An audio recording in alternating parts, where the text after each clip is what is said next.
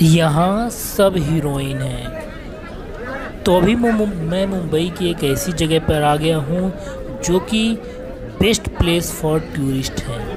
यहाँ पर पर्यटकों की भीड़ लगती है, और जहाँ भी देखोगे, आपको ऐसा लगेगा कि यहाँ सर, सब हीरोइन हैं। तो मैं अभी घूम रहा हूँ मुंबई की एक फ़ेमस जगह, जिसे गेटवे ऑफ़ इंडिया कहा जाता है।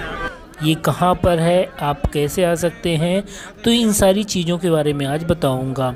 और इसके आसपास क्या क्या घूमने के लिए है, कब आना चाहिए आपको, और यहाँ आने के लिए कुछ पैसा देना पड़ता है क्या? तो इन सारी चीज़ों के बारे में आपको ए टू जेड पता चलने वाला है। तो अगर आप लोग मेरे चैनल पर पहली बार आए हैं तो चैनल को सब्सक्राइब करके बेल आइकॉन ज़रूर प्रेस कर देना, जिससे मेरे द्वारा बनाए गए वीडियोज़ आप तक सबसे पहले पहुँचें। अगर बात की जाए इस जगह की तो इसे गेटवे ऑफ़ इंडिया कहा जाता है, जो कि ब्रिटिशर्स के समय इसे बनाया गया था।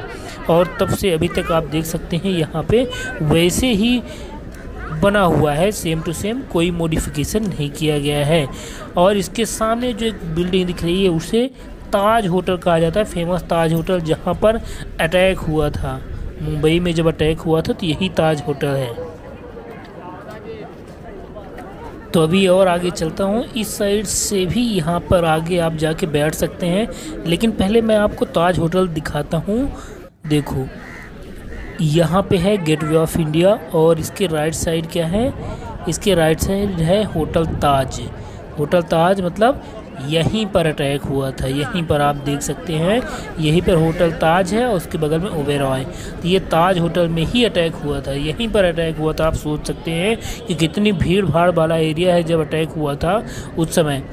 तो यहाँ पर आप आके दोनों जगह को घूम सकते हैं। गेटवे ऑफ़ इंडिया और होटल ताज को भी आप देख सकते हैं। एक ही जगह पर है, दोनों आसपास में ही है कनेक्टेड है, ये बोल सकते हैं। लेकिन जब आप होटल इसमें आओगे गेटवे ऑफ़ इंडिया में तो यहाँ से होटल ताज पर जाने के लिए रास्ता नहीं है। आपको बाहर निकल के जाना पड़ेगा। लेकिन यहाँ पे एक और स्पेशलिटी है, उसे पहले मैं आपको दिखा देता हूँ। उस कॉर्नर से आपको दिखाता हूँ सो देट आपको पता चल जाए।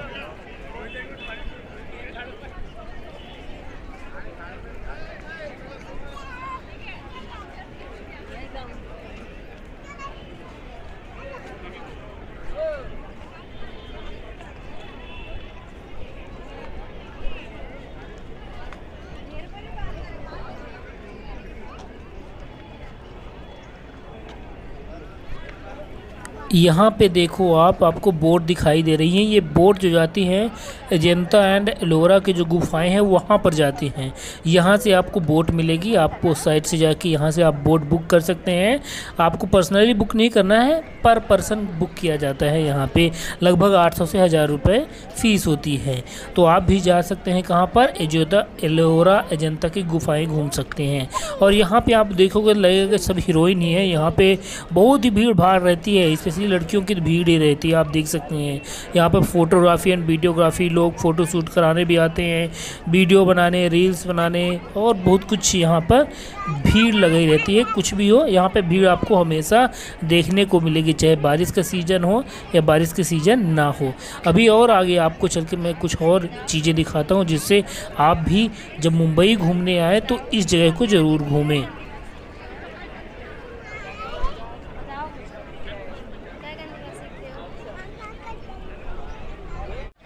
अभी मैं यहाँ से निकल रहा हूँ क्योंकि मैं इधर से ही आया था। यहीं पे एंट्री है, इसका एंट्री पॉइंट चेक पॉइंट बहुत ही ज़बरदस्त चेक पॉइंट है। वहीं से चेक होकर आपको अंदर आना है और यहीं से बाहर जाना है।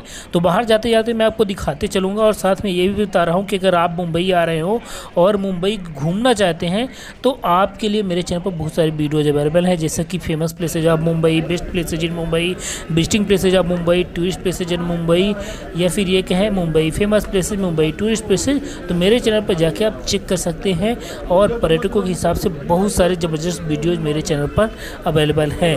अब यहाँ से आप देख सकते हैं, यहाँ पे एग्जिट है, आप देख सकते हैं, यहाँ पे एग्जिट होके आपको निकल के जाना है एक और डेस्टिनेशन की तरफ़ तो नेक्स्ट वीडियो में मैं आपको कहाँ ले चलूँगा? होटल ताज, और होटल ताज को बहुत पास से दिखाने की कोशिश करूँगा। तो मिलते हैं नेक्स्ट वीडियो में, तब तक के लिए बाय बाय